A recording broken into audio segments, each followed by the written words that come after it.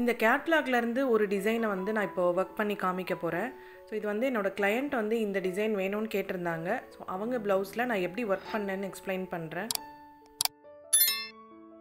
Sleeve work start பண்ணுறேன் so first வந்து ஒரு நாலு லைன் ஜரி த்ரெட்டில் ஒர்க் பண்ணிவிட்டு அதுக்கு பக்கத்தில் ஒரு ரோ சுகர் பீட்ஸ் ஸ்டிச் பண்ணுறேன்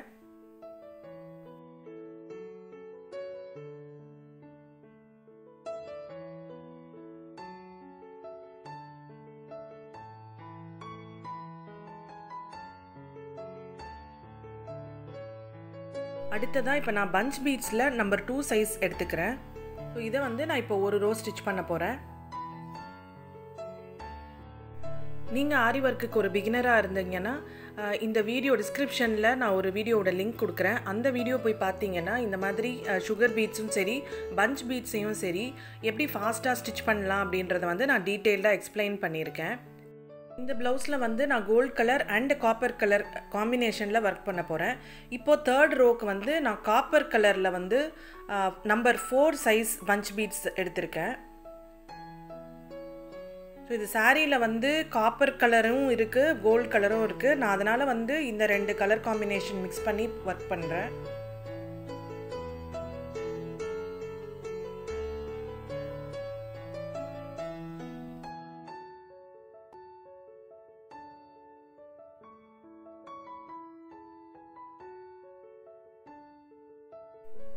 இப்போது அடுத்த லைன் வந்து திரும்பவும் number two size punch beads stitch பண்ணணும்.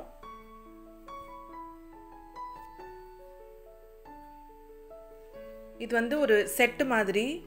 ஸோ ஃபஸ்ட்டு வந்து சுகர் பீட்டில் ஸ்டார்ட் பண்ணோம். அடுத்த ரோ வந்து நம்பர் டூ பீட் ஸ்டிச் பண்ணோம். சென்டரில் நம்பர் ஃபோர் ஸ்டிச் பண்ணோம். இப்போ அடுத்ததாக நம்பர் டூ ஸ்டிச் பண்ணிவிட்டு கடைசியில் வந்து நம்ம சுகர் பீட்ஸ் ஸ்டிச் பண்ணி ஒரு பார்டர் மாதிரி இதை க்ரியேட் பண்ண போகிறோம் ஸோ இப்போ இங்கே வந்து டூ சைஸ் ஸ்டிச் பண்ணி முடிச்சுட்டு இப்போது சுகர் பீட்ஸ் இங்கே ஸ்டிச் பண்ணுறேன்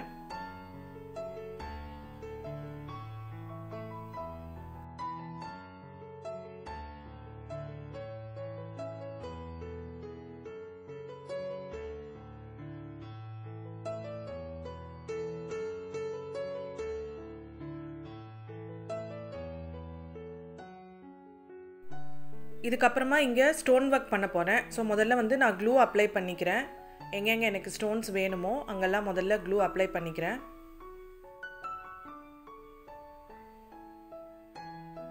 இப்போது ஸ்டோன்ஸ் ஒட்ட ஆரம்பிக்கிறேன்.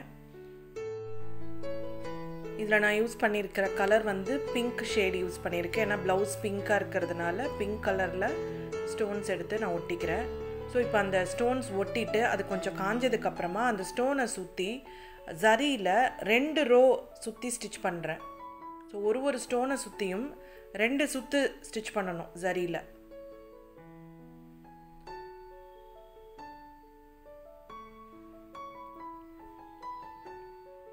ஸோ இது வந்து ஒரு ஒரு ஸ்டோனுக்கும் நான் நாட் போடாமல் அப்படியே கண்டினியூ பண்ணிட்டு வரேன்.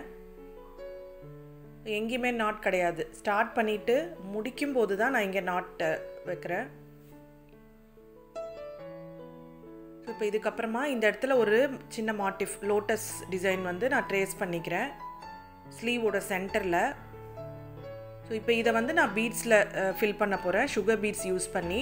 ஸோ சுகர் பீட்ஸும் பார்த்தீங்கன்னா நான் ரெண்டு கலர் யூஸ் பண்ண போகிறேன் கோல்ட் கலர் சுகர் பீட்ஸும் யூஸ் பண்ண போகிறேன் அண்ட் காப்பர் ஷேடும் நான் இதுக்கு யூஸ் பண்ண போகிறேன் முதல்ல வந்து அந்த லோட்டஸ்க்கு அவுட்லைன் ஸ்டிச் பண்ணிக்கிறேன்.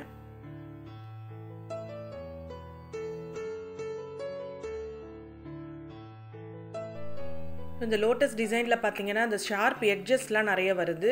ஸோ அந்த ஒரு ஒரு ஷார்ப் எட்ஜையும் நல்லா கான்சென்ட்ரேட் பண்ணி அந்த ஷார்ப்பாக வரா மாதிரி ஸ்டிச் பண்ணணும். இந்த லோட்டஸோட ஒரு ஒரு பெட்டலையுமே வந்து நான் தனித்தனியாக ஸ்டிச் பண்ணிவிட்டு நாட் பண்ணிக்கிறேன். ஸோ எல்லாமே ஷேப் கரெக்டாக வரா மாதிரியும் அந்த ஷார்ப் ஏஜ் கரெக்டாக வரா மாதிரியும் ஸ்டிச் பண்ணிக்கிறேன்.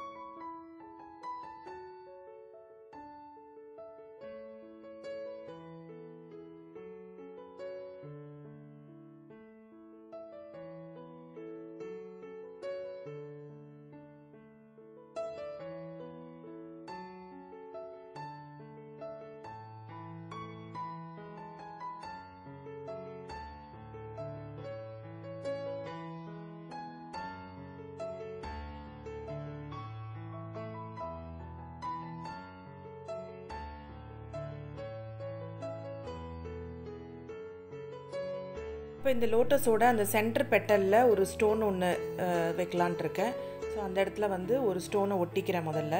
ஸோ இப்போ வந்து ஃபில் பண்ண ஆரம்பிக்கிறேன். ஸோ ஃபில் பண்ணுறது பார்த்திங்கன்னா ஒரு ஒரு சைட்லேயும் மூணு மூணு பெட்டல் இருக்குது ஒரு பெட்டலை வந்து காப்பரில் பண்ணிவிட்டு மற்ற ரெண்டு பெட்டல்ஸையும் நான் கோல்டில் ஃபில் பண்ண போகிறேன் ஸோ இப்போ எதெல்லாம் கோல்டு வருதோ முதல்ல நான் அந்த இடத்துலலாம் வந்து ஃபில்லிங் பண்ணிக்கிறேன்.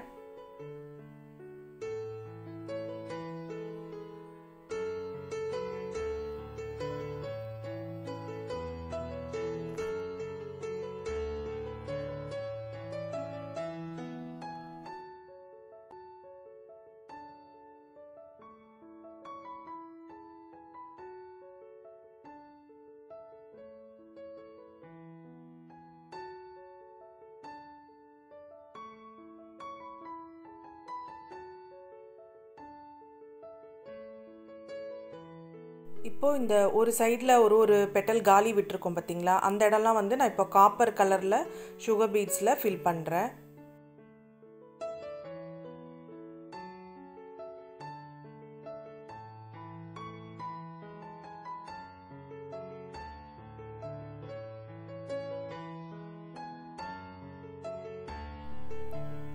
இப்போது அந்த கீழே ஒரு பெட்டல் இருக்குது அந்த இடத்துலையும் வந்து நான் copper colour sugar beads use பண்ணுறேன் இப்போ அந்த சென்டரில் உள்ள பெரிய பெட்டல் அதுக்கும் வந்து நான் காப்பர் ஷேட் யூஸ் பண்ணுறேன் நான் கேட்லாகில் காமிச்சிருந்தது வந்து பேர்லும் கோல்டு கலர்லேயும் பண்ணியிருப்பாங்க அந்த சாரீக்கு மேட்சிங்காக ஸோ இது வந்து காப்பர் ஷேடும் கோல்டும் மிக்ஸ் ஆகிருக்கிறதுனால ஸோ இந்த ரெண்டு கலர் காம்பினேஷனில் நான் இந்த ஒர்க்கை பண்ணுறேன்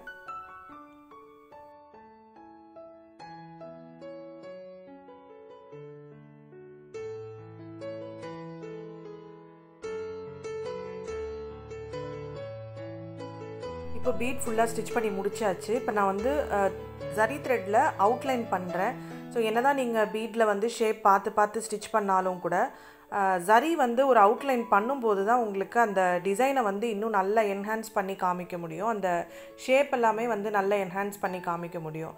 ஸோ அதனால் ஜரி த்ரெட் யூஸ் பண்ணி ஒரு ரவுண்டு நான் வந்து அவுட்லைன் ஸ்டிச் பண்ணி முடிச்சுட்டு இப்போது அந்த ஸ்லீவில் வந்து புட்டா டிசைன் பண்ணிகிட்ருக்கேன் ஸோ புட்டாக்கு பார்த்தீங்கன்னா உங்களுக்கு சென்டரில் ஒரு ஃபோர் எம்எம் பீட் வச்சுட்டு அதை சுற்றி ஆறு ஃபோர் எம்எம் பீட் வச்சுட்டு அதை ஒரு ஃப்ளவர் ஷேப்பில் கொண்டு வந்திருக்கேன்.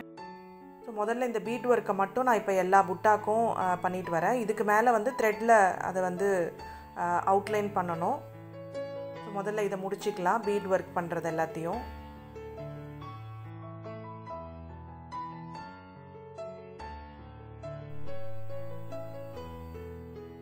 இப்போது ஜரி த்ரெட்டில் நான் ஒரு ஒரு பீடையும் சுற்றி ஸ்டிச் பண்ண போகிறேன்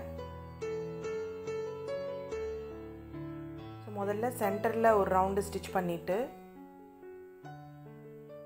இப்போது ஒரு ஒரு பீடையும் சுற்றி கண்டினியூஸாக நான் இப்போ ஸ்டிச் பண்ண போகிறேன் நாட் எதுவும் நான் ஒரு ஒரு பீடுக்கும் ஃபினிஷ் பண்ணல. இப்போ எல்லா பீடையும் சுற்றி ஒரு ரவுண்டு ஜரி த்ரெட்டில் ஒர்க் பண்ணோன்னா இது ஒரு ஃப்ளவர் ஷேப் மாதிரி வந்துடும் எங்கெங்கெல்லாம் பீட் ஸ்டிச் பண்ணி வச்சுருக்கணும் அங்கெல்லாம் வந்து இந்த மாதிரி த்ரெட்டில் வந்து அவுட்லைன் பண்ணி முடிச்சுக்கிறேன். ஸோ இது முடிச்சிட்டோன்னா நம்மளுக்கு வந்து ஸ்லீவ் ஒர்க் கம்ப்ளீட் ஆகிடுது இதோட நெக் டிசைன் வந்து நான் அடுத்த வீடியோவில் பண்ணி காமிக்கிறேன். தேங்க்ஸ் ஃபார் வாட்சிங்